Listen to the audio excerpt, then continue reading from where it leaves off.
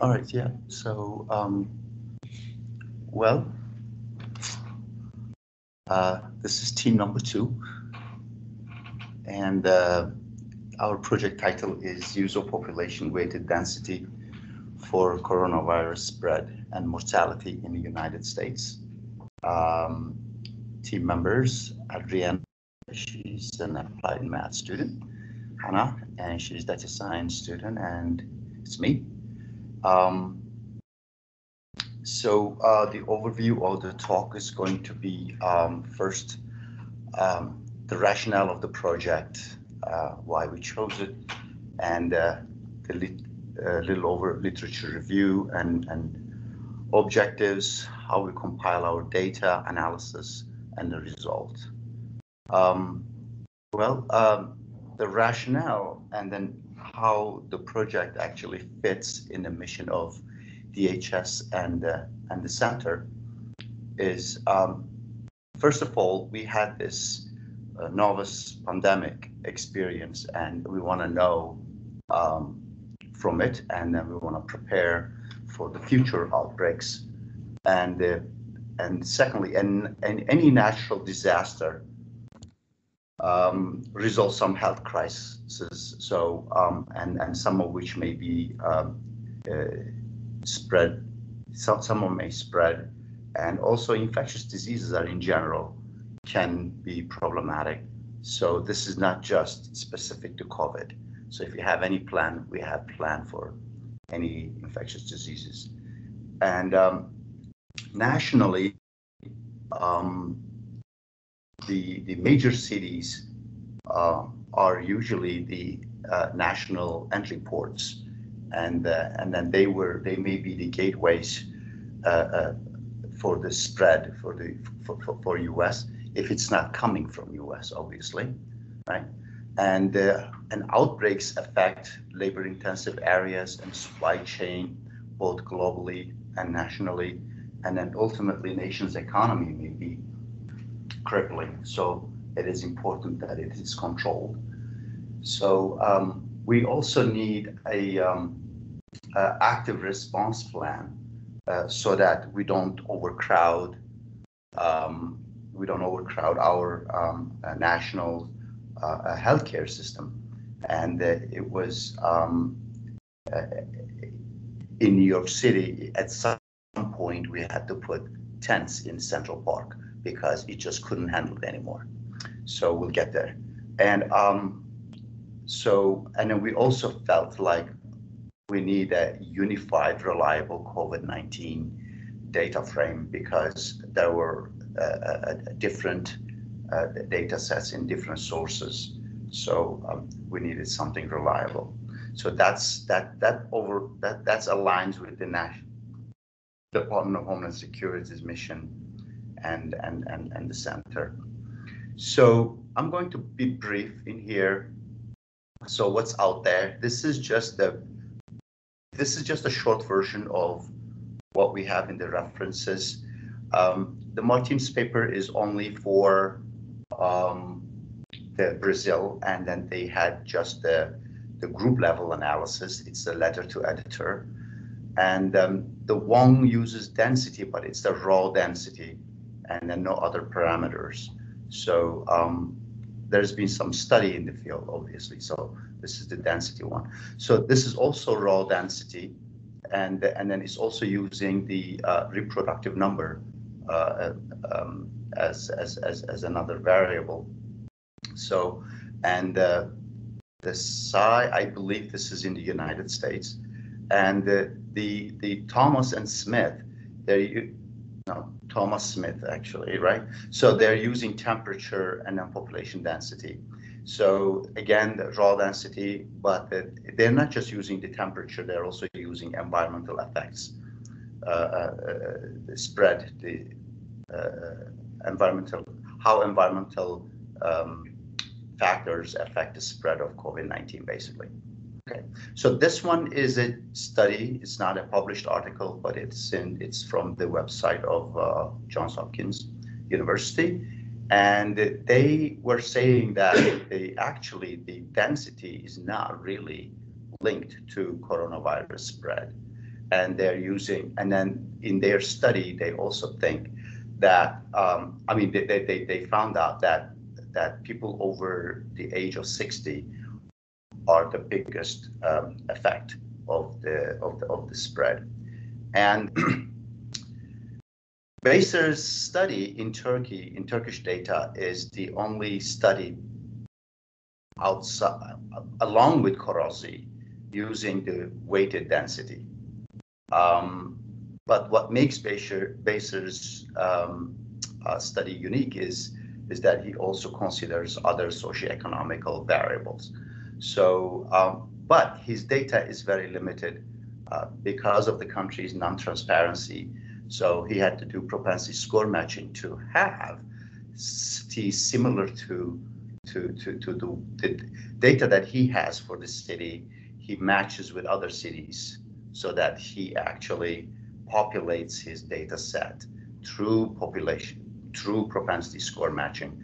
So it may not reflect 100% what the country is doing, basically. So Korosi is using weighted density, he doesn't say it in the title, uh, in the United States. Um, um, but uh, his result was that weighted density is not uh, uh is not that important in the spread of the data, and then we're going to argue contrary in the short term. But what what he was looking at is that full data set of the coronavirus, not necessarily the the early stages of the spread. This because given given enough time, you know, herd immunity is going to happen no matter what, even if you take control of it or you don't. So um, Lima talks about walk walkability and that taking the taking a personal car or, or taking public transportation. And uh, is just uh, talking about the 16, I believe, uh, European cities and then mobility. And he also considers, he or she, I don't know. So um, they also consider um, uh, the, the hot, what they call it hotspot, the how many people are moving in and out in a certain spot within the city. So, uh, and then another high temperature humidity affecting the transmission of COVID-19, but this is more like a, more like about the disease. We believe that studying population is as important as studying the disease because after all, we are the one who's spreading them. So um, now, therefore, that as an objective, we would like to find out the population weighted density. We would like to we would like to estimate estimate the spread and the mortality uh, in the United States uh, based on population weighted density and and also like some other socioeconomic variables. And secondly, we would like to unify this COVID-19 data, and then we have one and accurate and comprehensive uh, data frame uh, in the country, and uh, we'd like to see how these um, these variables like spread, the density, mortality, education level, wealth, healthcare forces, temperature, and all other demographics are actually interplay, and then what kind of relationship they have. And uh, we also would like to look at the population waste weighted density uh, um, to, to, to take informed decisions about how to mobilize the healthcare from high risk places to low risk, risk places. And, um, and then uh, we would we'll, we'll have a national model and um, and since we cannot compare all 50 states, I mean we can, but for the purpose of the summer, we compared only six different states, so selected, and uh, we would uh, we, we looked at how they started grouping um, grouping over time. So in we, we, that way we can actually decide which states are similar, which states are different, and uh, um, what type of policies are actually helping the states better. And we also, um, for example purposes, so we, we picked New York and California, and then we looked at their elasticity. And, we would like to lay out some key components uh, to, of spread and mortality uh, to help policymakers actually can uh, make, make informed decisions. And well, for the data, I'm gonna leave this slide, how we collected and then how we cleaned it to Hannah. So um, in the process of creating our data frame, while our regressions used numbers um, that had total spread for each of the years that we studied, 2020 through 2023. Um, in creating our master data frame, we have for all 3,142 counties in the United States, daily cumulative totals of cases for each individual county. Um, initially, we wanted to use a data set from USA Facts, but there were certain irregularities um, within specific counties so these uh, these data frames were cumulative and there were unexplained drop-offs of as many as 500,000 cases in a single county. And then the data frame just continued on from that. Um, we couldn't find any explanation for these drop-offs, and so we decided to look into the Johns Hopkins University data set. Um, there were a few counties with missing data there, so at the end of the day, we wound up using the Johns Hopkins data set as our base data set, and we supplemented um, missing counties from USA Facts after cross checking with other sources such as the Census Bureau or local governments or the CDC. Um, at the end of it, we believe that we have the most accurate data frame of daily spread in the United States at the county level. Um, for the other data, uh, for the other variables that we used in our study, um, demographic data came from the United States Census Bureau. So that was everything um, healthcare, temperature, age, male female ratio, education level, and wealth came from the United States Census Bureau. And then our weighted density numbers came from Devin Michelle Bunten at MIT. Um, so our confirmed cases and mortality data sets ultimately present an accurate depiction of COVID-19 at the county level between January 22nd and March 9th, 2023, which was the total time of overlap between the Johns Hopkins University data set and the USA Facts data set. It was incredible. I mean, irregularities until, I mean, even like in a single day, drop off like 500,000 cases. So the difference between USA Fact and, and, and John Hopkins data set, basically. Uh, the methods we used is uh, stat, uh, the, the regular descriptive statistics and visualization and, and some map, you know, spatial and uh, spatial analysis. Um, we went through the model selection and then come up with a multivariate regression. And then we finally verified our model. And uh, we did some analysis of variance for selected states and, and, the, and the shortcomings of uh, analysis of variance has been supplemented by Duncan test. So, um, and then we determine uh, healthcare policies uh, success. Healthcare policies and the success of a county with respect to population weighted density. Um, the first descriptive statistics I would like to mention just one thing in here. If you look at the Los Angeles, the, the, the it ranks number one in population. That's the most populated uh, uh, uh, county, and uh, and but it, it ranks in 16 when you compare to uh, the weighted density. So population weighted density of New York City, Manhattan is one, number one, and and then population wise, it's ranked as 20. So, okay, so Manhattan is not as crowded as Los Angeles, but average New Yorker is living with 137,000 some people within square mile. So there is more human contact in, in, in, in New York. And it is not surprising that New York, the Bronx, the Brooklyn, and Queens. First four is in New York City. So the the, the most dense uh, uh, uh, city in the United States. And the, the second crowded, second most populated county is Cook County, Illinois. This is Chicago area. And, uh, and but they're ranking in 14 in density it's still denser than the Los Angeles because Los Angeles is spread out and then and then and the county is hemmed by mountains, so there is less contact. so this is some um, uh, the descriptive statistics means and the, and the standard deviation, but it is being adjusted by the weighted mean. I, I can go through quickly. There are 3,142 counties in the United States. Uh, the average American is living with 6,741 people within square mile. And average temperature of all the counties is 57. And uh, 76,215 healthcare workers on average, and, and, and, and so on.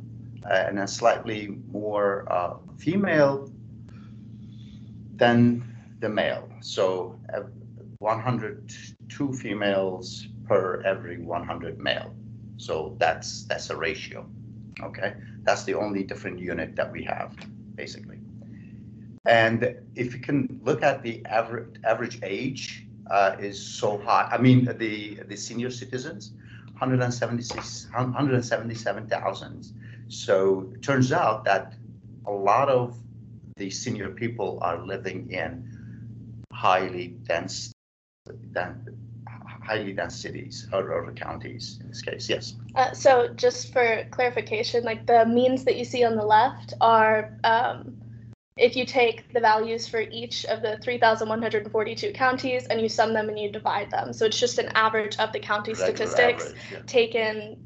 each as one county. But the ones that you see on the right, each of those counties has been weighted by their population and then it's divided by the entire population. So it's more indicative of what an average person in the United States experiences at in their county level.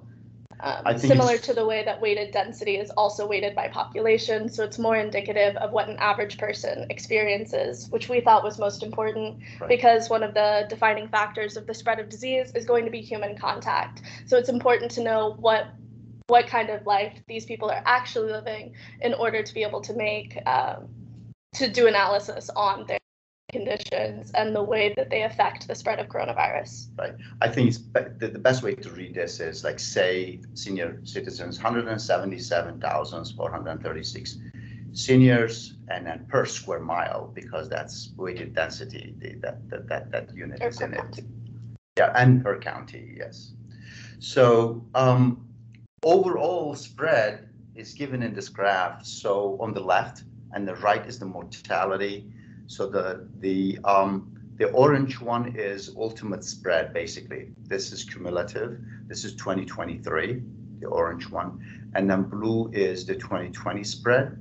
And it clearly shows a rising trend as the uh, the weighted as as the density gets higher, spread gets higher, and uh, and then 2020 uh, spread is lower than 2023 similar results in um, in uh, the mortality, uh, but uh, there are more zeros in here um, pulling the, the, the regression line down.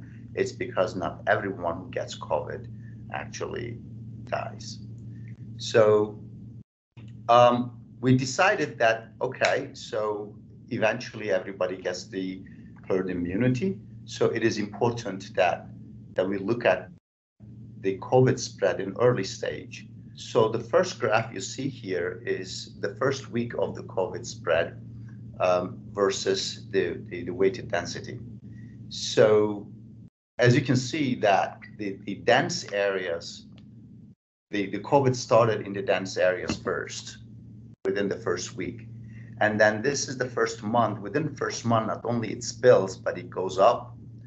And within the sixth month, within the six month, all the less dense areas are also infected. So, and within the six months, the disease actually catches the shape of the ultimate spread. So, what that means is that if we want to contain this disease or any infectious disease, we are actually racing with time. So, this is the shape of in six months, and then this is the shape in three years. So, so I think uh, this time frame is um, should be an indicative for the policymakers to implement whatever needs to be implemented early on to contain the disease. and uh, the correlation matrix is telling us that spread is highly correlated with the seniors, coincides with the research that's been done in John Hopkins University. Our seniors are 65 and older. John Hopkins were 60 and older. And, uh, and the, the, the second biggest correlation is healthcare workers. Um, the reason for that is there are bigger hospitals, more hospitals in urban areas, and then obviously there will be more healthcare workers. And then there is, where there is more healthcare workers and then there is more healthcare, and it's likely that we are going to get tested more. They're going to have more tests. So it is highly correlated. It is expected. And the third, uh, the highly correlated item is the weighted density with about 80%. Okay. So, well, this is just the same thing in pictures. As you can see, the healthcare workers, seniors, and uh, the density is highly correlated and the education is somehow. Okay, I left out others because the pictures was getting too big. All right, so here are some special spatial visualization, and I think this is nice. Go ahead, Anna.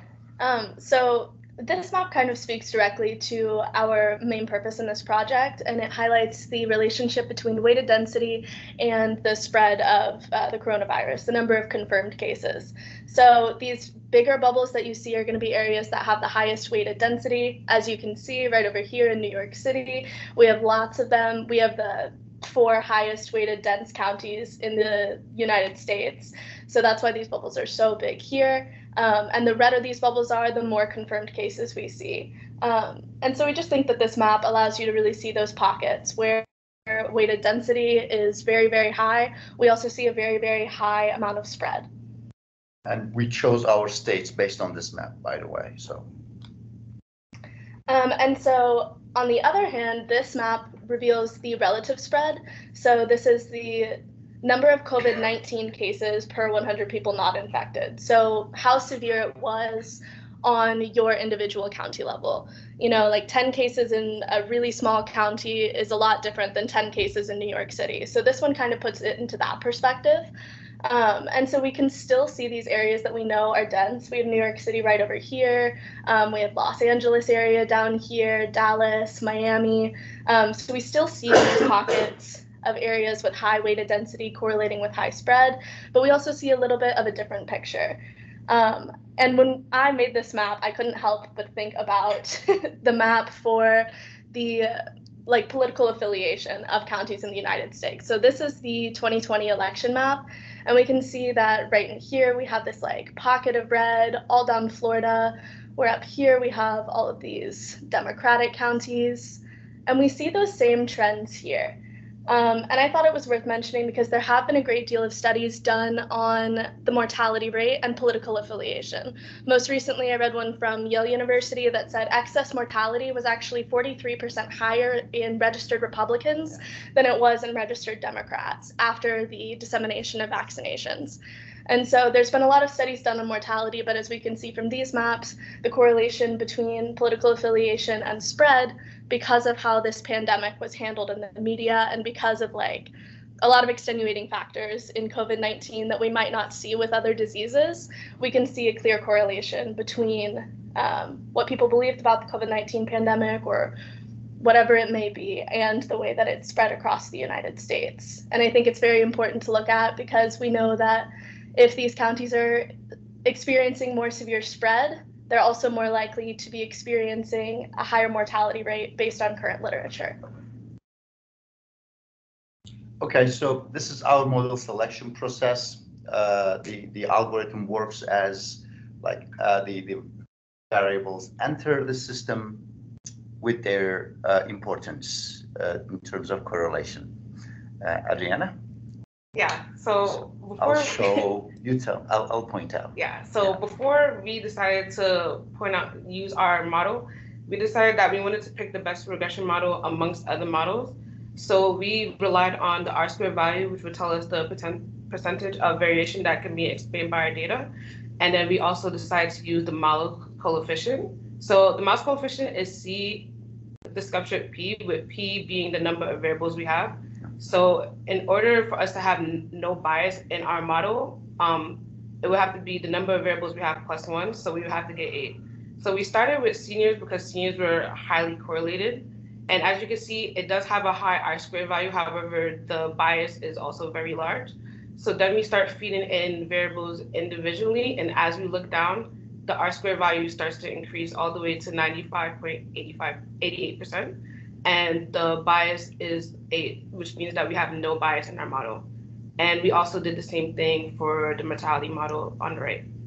So um, the, our um, spread model explains 96% of the variation within the within the data, and uh, and the mortality is 93%. So mortality is not doing as well as the spread.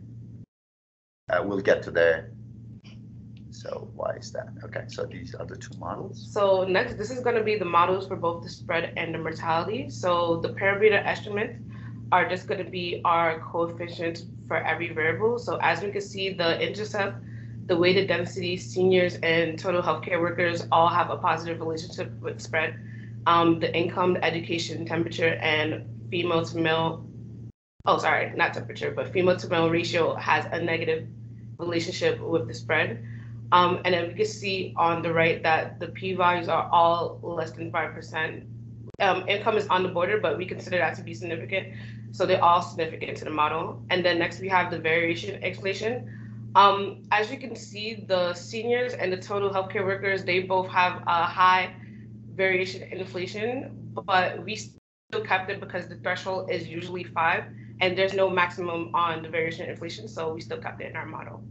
And it's going to be the same thing for the mortality, different coefficients. However, the variation inflation is going to be the same for each variable.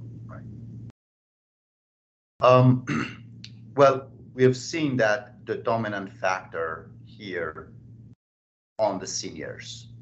So since this is already logged, so the spread is also logged, what that means is that a single percentage increase in the seniors population will result 83% of the spread in the disease. So this is significant and we wanted to see what's going on with that. So now the first graph shows that um, this is, I believe, not the all uh, all represented. These are yeah, 150 counties 150 counties out, that out create of. a representative sample. Otherwise, it was getting too crowded. So so dense air. So it looks like the more people are living, more senior people are living in the dense areas. And the mortality rate also very high in that. So um, the uh, the color shows the mortality, confirmed death, and um, and the size of the bubble shows how big the senior population was there. So now if you look at the percentage wise, the relative mortality and, and, and relative seniors, it shifts to the relatively high and relatively uh, uh, uh, dense areas or, or less dense areas. So we think that the most of the, so these mortalities are shifting so it looks like the more people, more more mortality is coming from the, the senior groups, and uh, and and and and, and percentage wise, there are more seniors within the less dense areas. But number wise, there are more senior people are living within uh, dense areas. So it just confirms that the seniors, 65 to 75, are the, the, the number of deaths are the highest among them. So the graph confirms actually why, why that's the case. And if you could remember the shape of our spread, this also represents exactly the shape of our spread. No wonder the seniors are actually coming out so significant in our model. One percentage of increase in senior population 85% increase in the spread. Okay, so um, we looked at New York City and and and Cal- New York and California as a state to see how these how this elasticity is changing. Uh, so uh, now this is the time, and and the white coordinate is the spread. So as soon as the outbreak happened, so the spread shoots up, right? So the the rate at which the disease is actually spreading is high at this point, and that rate of the speed of the spread is going down right away. So that means New York responded quite fast, okay, and then bend the curve right away. And I looked at this breaking point in my list of important dates. That that that breaking point comes to the travel advisory. So travel advisory public policy actually bend the curve even more, meaning that the rate at which the spread, the disease is spreading is getting less and less. So the, the we, we slow it down right away within the first few months. And um, so by January 21st, uh, we had the first vaccination. Within the vaccination, herd immunity started happening. So while there is no uh, higher speed for the for the spread, but there is still shift going up. So what that means is that okay, speed is not increasing, speed is now steady, but there is a steady people catching COVID in the meantime. Okay, so that that that that, that trend still goes up. And by the time March 2022, I think country-wise, the whole, uh, I mean, we had we, we've reached the uh, the herd immunity basically. So, and that will be clear with the with the time series that that that is coming. Okay, so let's look at California. California reacted differently, right? It took about four months for Californians to Californian. Is that a word? Yeah.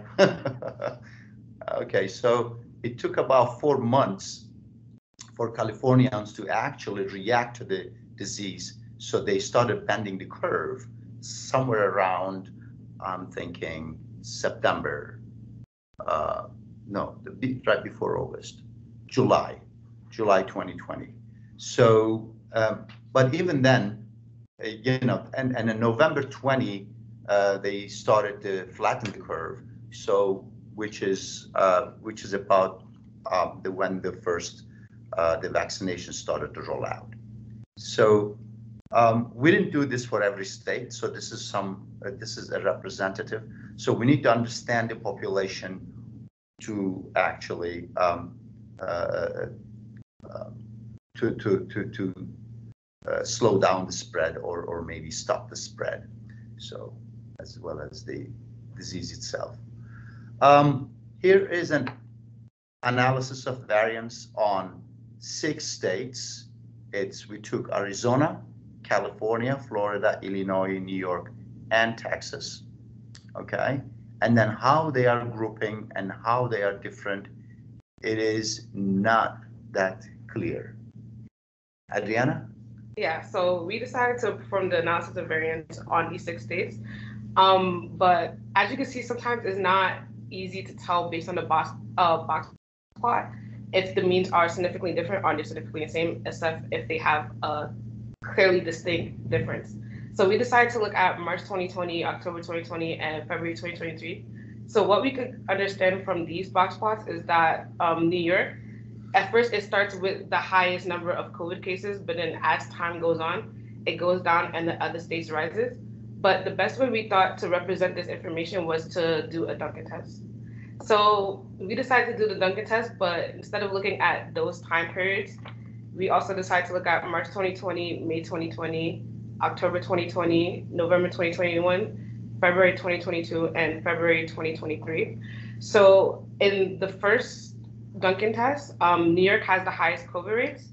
Um, California, Arizona, Florida, all had the same bar, which means that their COVID spread rates wasn't significantly different, so therefore they're the same. And Illinois and Texas, they were also the same. So as we look and throughout the time, in May 2020, it starts to change a little bit more. So um, New York, Arizona, California, and Florida are all significantly the same in terms of spread. Illinois and Texas are not are now not the same. And as we move to October 2020, that's where we see the biggest shift. New York is does not have the highest number of COVID cases anymore, and now it's Florida, Arizona, and California with the highest cases, and they're not significantly different. And New York, Illinois, and Texas are around the same amount. Now, when we look at October, and when we look at November 2021, though, um, Arizona, California, Florida, and New York, they all have the same amount of COVID spread, and Illinois and Texas the same. Um, February 22 and February 23 has the same um, pattern, which means that Arizona, California, Florida, and New York have around the same COVID spread. Illinois and Texas have different ones. So we think that this will be important for um, policymakers in case like they want to look over time to see which states are doing good in handling COVID. So at first in March 2020, they would allocate all their resources to New York based on how high the spread is. And then as you can see, um, over time in October 2020, New York no longer is a priority because it doesn't have the highest spread. Now they would focus on allocating their resources to places like Florida, Arizona, and California. So we think um, it would just be best, like if um, policymakers look at this to see over time which states need the most resources given the time that they're looking at. Also, this probably, you know, tells about the success of the policies or success of the how the policy is implemented in the in the state. Successful state, so New York did well with whatever it's got, I guess, you know, lowering down itself to Illinois and Texas level. So, Hannah, the time series. Oh, yeah, so this is a graph of a time series for the um, coronavirus spread on the county level in California. Um, and we put these lines in to kind of show where we saw like uh, breaks in the slope, like where where it seemed to level out for a second, and we matched that with a list of um, policies implemented at the state level. Um, and we have this for many different states, but in California, the first shift that we see is right around here, where this slope um, it breaks. So it breaks from this very very steep rise. California was put under a lockdown in April 2020. Right over here, we see a mask mandate and then um, across the country, we see vaccination access. And for California, the widespread vaccination access happened in February 2021. Um, so we thought that these maps would be helpful for us to kind of analyze what policies did in different states, if they acted the same across different states, and what we can learn from the timing and the kinds of policies. So for California, we see that the lockdown and their mask mandate were both effective in helping to slow the spread of COVID 19 at the county level, and vaccination access we'll see was effective on the countrywide level. We see the same trend right around early 2021 for every state that we've looked at. Um, for Florida. No. Okay. So in Florida, we see kind of a different story. Um, they like their lockdown ended before a lot of people had either even put in lockdowns or definitely before those lockdowns were lifted. Um, and so their lockdown was not even in place for a month, which is why you don't see it right here but their lockdown ends and we see cases start to shoot up again. Um, and they also never allowed for a statewide mask mandate. In fact, they weren't, they rejected a statewide mask mandate. But in August of 2020, they officially allowed um, individual counties and cities to install their own mask mandates. And in Miami Dade, Broward County, um, and actually, all four of these counties, which are the most populated counties in Florida, you did see a mask mandate between um, late July and late August of 2020. And so we can see that these mask mandates in these counties did have a slowing, a chilling effect on um, the spread of COVID 19. Uh, vaccination banding effect, I think. See, this is still rising after vaccination, but Californians was the biggest effect is just flat. So yeah. yeah.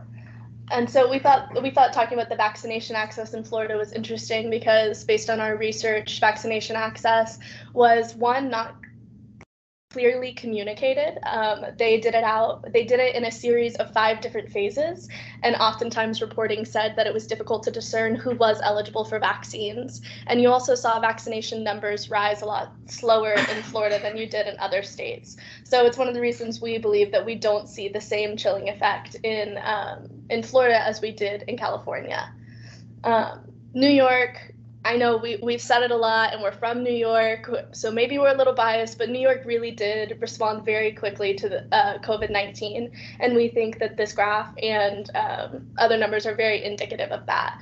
Almost immediately, New York had a lockdown and their mask mandate, and it's clearly seen um, that the lockdown slowed that curve and that mask mandate helped to flatten the curve um, New Yorkers, you know, we speak from experience here in the sense that like New Yorkers were very good about their adherence to COVID 19 policies. Um, and so, vaccination access, we see the same kind of flattening as we did in California, unlike Florida. And then, actually, New York implemented another mask mandate in 2022, specifically for public transit and other like highly populated spaces, government buildings. And so, we see the chilling effect there as well. Um, and so lastly, this is just the time series of um, the six states that we selected to look at um, on their state level. Uh, the dotted black line that you see is the United States mean, and we just wanted to notate where vaccination rollouts begin, like around the time when most states started seeing widespread vaccination access. Um, and we also thought it was interesting to look at the differences up until vaccination rollout did begin. Because after these vaccines roll out, we see every state starts to stabilize, whether more or less than other states, but we definitely see that trend right here. Um, whereas around here, we have very, very different trends for how things spread. We have New York shooting up quickly and leveling out. We have Texas kind of making their slow but somewhat steep rise to join Illinois up there. Um, but as we've said, like vaccination rollout did seem to have the most chilling effect on COVID-19 spread across all all states that we analyzed. Um, this is a map of residuals, which is the the error. So uh, the white spots are the errors within five percent. So um, which is telling us that our model actually captures the dynamic of the spread quite well especially in the crowded areas. And the places that places that, if you can remember the spread map earlier, uh, the place the Northwest really did well in terms of uh, spread, where we overestimated. Places that actually uh, didn't do well, Midwest and right here, right? Is that also the Midwest? No. Well, I don't know. okay, so uh, so we overestimate, we underestimated those. So um, there are some outliers, obviously, um, and we didn't capture, but this thing actually tells us that we have very little error. And then our model explains 96% of the variation. So the most of the counties in the United States fall within 5% of the, the, uh, the error in terms of our model. Um, as I mentioned, that, that the mortality didn't capture all that much because of probably the, the um, uh, comorbidities of the of, of, of, people. People might have other sicknesses. People might have other shortcomings, or maybe they're just uh, uh, you know um, because of the age they have less immune system. Um, uh, that's why the, uh, the, the death model is not capturing fully.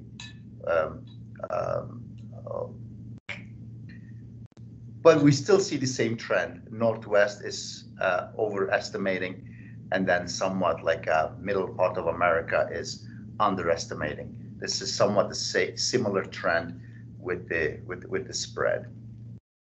Okay, so overall the spread is a pretty good model. and here are some numbers from New York City. Yeah. So the average New Yorker lives with 35,000 people within one square mile. It's not Manhattan, right? I, I mean, New not New York City. I'm sorry, New York State. Okay, so New York City is 137,000 within square mile, which is Manhattan. Okay, so um, and the average education level of New York uh, State is 38% four-year college or higher. Uh, average population of seniors are 211,000. And um, there is uh, slightly more female population than the male population. And the average uh, per capita income is 77,000. And uh, number of healthcare workers is 116,000. You need to read this thing per square mile, each one of them. I, I, I can't forget to say that, per county. Per square mile per county. That's our unit. Um, I, it's 1,000, I mean, 116,000 healthcare workers in New York State per square mile. The reason that this is so high, it's because of the weighted density of the city. Okay, so but the statewide, the plain mean is average uh, uh healthcare workers in the whole state of New York is 26,000, 27,000. Okay, so the reason that these two bullet points next to each other, it just tells you the gravity of the situation. New York County, which is the borough of Manhattan, is 1,600% more dense than the average, uh, uh, uh, the density of the New York, New York State average. So um, I'm going to take a very extreme example and then and then show you that it still falls within the 5%. So the which is Brooklyn, population uh, density wise, 25% that more dense than the Queens. Um, keeping all other variables constant, just looking at the density itself only, um, our model estimated that then Kings County should be 2% higher. The spread of the King County should be 2% higher than the Queens. But the actual was 6.5, which, which still falls in within 5%, the error. And we need to note that about 80% of the population lives in a county is above the national average.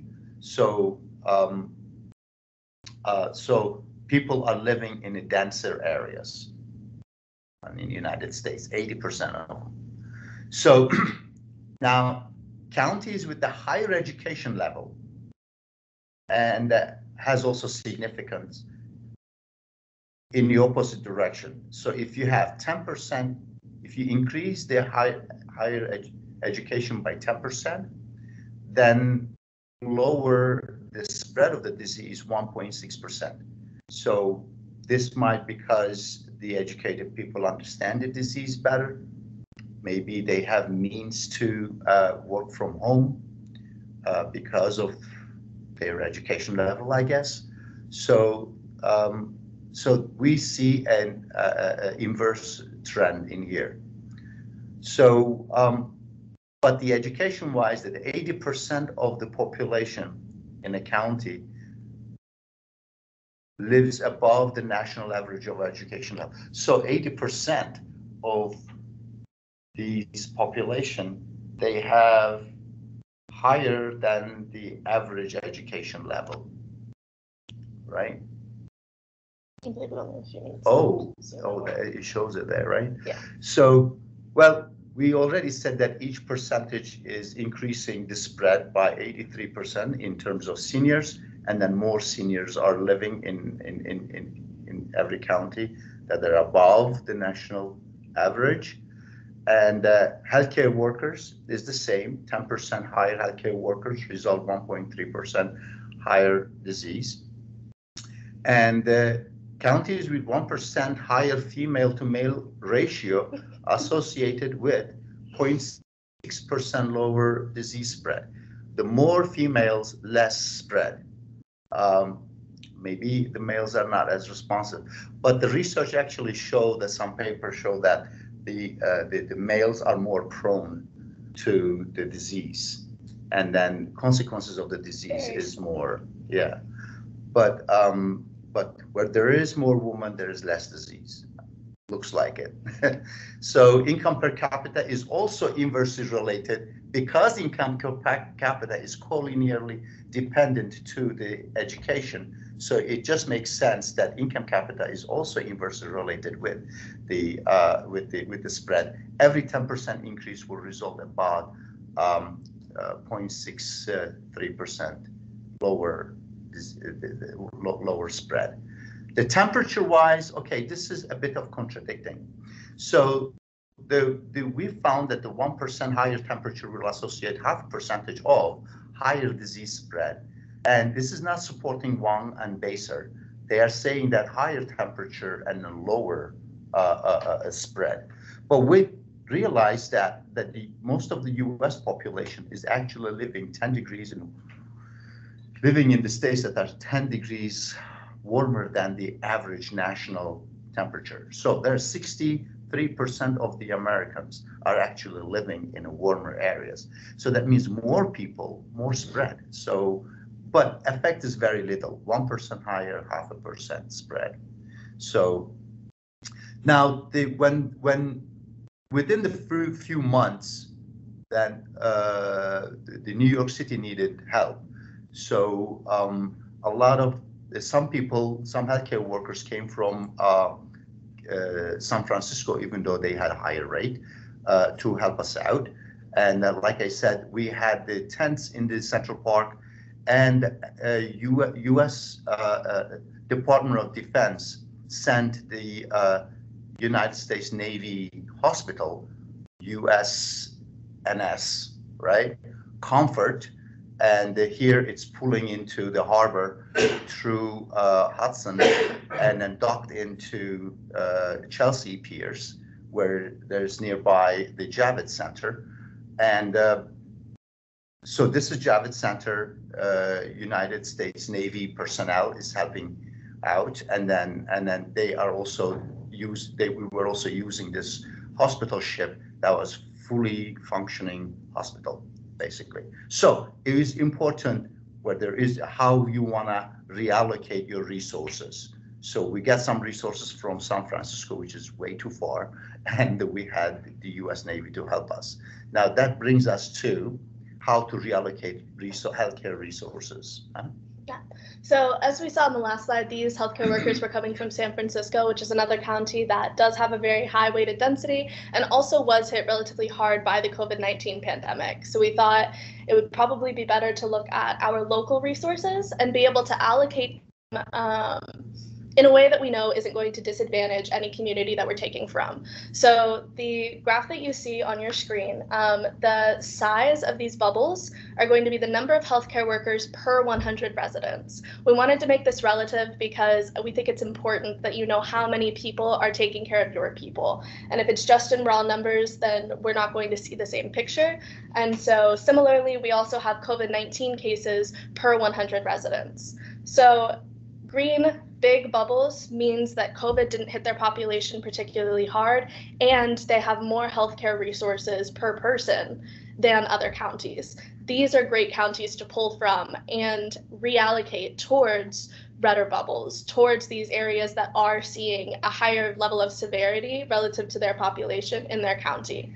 And doing this on the state level allows us to uh, view it in the context of the density, we do we believe that we should be moving upwards on this map. Um, because as you can see, these weighted dense areas were hit harder by the pandemic than these areas that fall under this uh, level of density. So places like Albany, places like Westchester, Montgomery, there's a few on the map, and obviously this is just for New York State, would would be better picks to reallocate resources towards places like Richmond or Queens or even New York. Um, that way, we're not pulling from another place on the other side of the country with a very high weighted density when we could be pulling from our local resources. Well, this is relative mortality rate uh, with the population weighted density. It, it shows that somehow um, um, there is less mortality in the dense areas. And uh, uh, we, we think that this is because they, are, they enjoy better healthcare system in the in, in, in the metropolitan areas. That's what that's why there there's less density, and it's consistent with the literature, by the way. And um, this is the uh, somehow ranking the states and rewarding them if they did well. So um, we thought that uh, we, we would get the mortality rate, uh, the, the, the amount, amount of death per spread, per spread. And, um, and then, yeah, so um, we kind of ranked, so the Wayne and then Lake and Colorado, Los Angeles is doing better. And the, the, the, the bottom of the counties are not doing as well. So, um, well, conclusion is that we, um, to control and manage the outbreak, the time is in the essence, and then we need to move in early. And uh, we think that the weighted density can be a useful tool to actually uh, uh, strategize um, the, the, policies. And, um, and uh, our study also delineates uh, the, the importance of the uh, densely populated areas. And the study also recommends prioritizing public health in densely populated areas. And uh, we also think that um, um, the um, county prediction in both spread and mortality with healthcare resources and other demographics can be used to control and manage the outbreaks. So, and then crucial timelines and policies are actually put forward. And then the vaccination was the biggest curve bending, and then along with the travel advisory coming second. So the biggest um, control healthcare decision was the vaccination, and the second was the travel ban, basically. And for the future work, we think that um, that not many people get vaccinated. Maybe uh, um, the, the government mandate should be looked at. And uh, currently, uh, we are actually collecting, we are preparing a, uh, a, a, um, a, survey for that. And secondly, the distribution of the vaccination was a bit of chaos. I think we could do a linear programming for based on weighted density and other prioritized variables to actually put forward some kind of logistics or, or, or supply chain. And the economic impact of the COVID-19 has been studied, but not extensively. Uh, we are in the search of uh, I think Julia has recommended somebody from University of Chicago, so we're going to look into that. And um, and that impact of the mask mandate in workplace uh, actually uh, believe that they reduce the productivity. So uh, small clinical data is available. I have it, but it, it, may be too little. Um, and then lastly, there could be some kind of machine learning model based on the logistic regression to see uh, when to uh, take action, like in terms of when to put the travel ban, when to put the uh, um, um, the the, the mask mandate.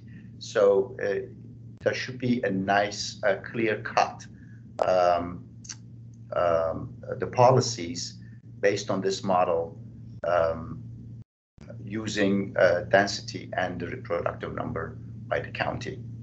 And um, we would like to thank Julia for her mentoring and recommendation. Thank you, Julia and she was uh, recommending the methods. Uh, it was a blast. sometimes, sometimes some resources, uh, and I'm still waiting for that economics data. Hopefully, we can get it. And uh, we would like to thank um, Dr. Uh, Maciejewski, Dr. Mirchandani, and Dr. Escobar for their guidance and support for every every weekly meetings that we've had. So um, thank you and uh, also staff members, Amy, Casey, and Zachary. Uh, their logistics, uh, the welcoming uh, help, and, and continuing support while we are staying here. And uh, uh, last but not the least, Department of Homeland Security and the center, and ORISE, right, um, uh, that, that made this research possible. Thank you. Thank you all so much. And that's our social outing. Any questions? Please feel free. Sorry that I was out of time. Okay, okay. Sorry for the technical. Yeah. Thank you. Great, thank you all. So you're all ready to apply to grad school here at ASU now? Kind of work with you. We'll see. That means yes. Yeah. in the summer. If you're in grad You're already school, here, you wouldn't you're be already in here the at the summer. worst part of the year. Yeah. Yeah, which, you know, makes it harder to come back, Nice right? part of the year. Gosh, geez, this is lovely. Any questions Okay, from any- the online folks? I, I just want to comment. Uh, uh, Thank you, thank you. I'm sorry, could you repeat that? It was breaking up, so we couldn't hear you. Okay. I want to comment that this was an excellent report, and I thank the team, team for doing such a great job. Thank you so Thank you. much. Thank you very too. much.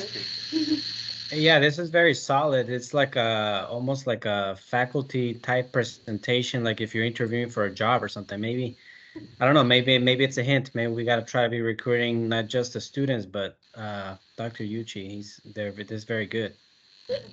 All right. I have another profession going. Yeah, no, it's rare. It's really good, guys. I hope you guys are gonna uh, turn this into a journal article. I, I think you're working on that. It's Really already, good.